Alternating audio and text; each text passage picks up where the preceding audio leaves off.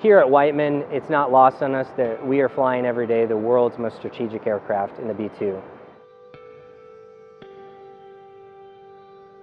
We also know to be able to maintain that edge and to continue to be the world's most powerful and capable Air Force, uh, we have to stay ahead of the game and be innovative in our approaches. We had an issue, kind of a long-standing issue, frankly, with this uh, airframe-mounted accessory drive. This is called the AMAD panel, and this sits uh, in the left side of the cockpit, just outside the left knee of the person in the left seat, and as you can see, there's four switches. Well, when one of these switches goes the wrong way in flight, some interesting stuff can happen uh, with the engines, electronics, and hydraulics. And we wanted to make sure that they were protected. He uh, does a good job engaging the community, developing relationships uh, here locally, and has developed a close relationship with the Knob School System Superintendent, Dr. Jared Wheeler. He knew from that relationship a uh, impressive robotics team that they have over there at the uh, high school. And so he reached out to Jared and said, Is there a way that we could partner where Whiteman Air Force Base and the 509th and 131st Bomb Wing could partner with your robotics team at Knob Noster High School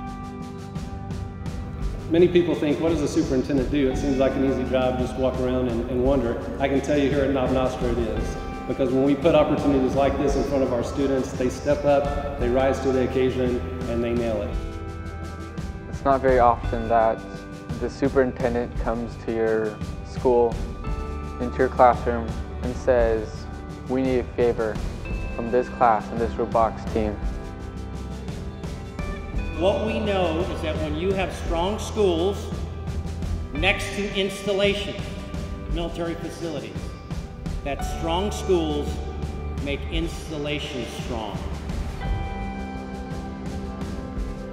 Like any adjacent school to any uh, military facility, we have a, a, great connection with Whiteman. You'll notice that our logo is the Knob Noster Panther with the spirit behind it um, together. And from the very beginning, that was the idea, was to make it a cooperative kind of effort and everything we could do to bring those two entities together. In 72 hours from initial design concept, 72 hours, this team of high school STEM-related super smart students printed this. 72 hours from initial design concept to final product at the grand total cost of $1.25 a copy. This part is going to cover four important switches in a $2.2 billion aircraft.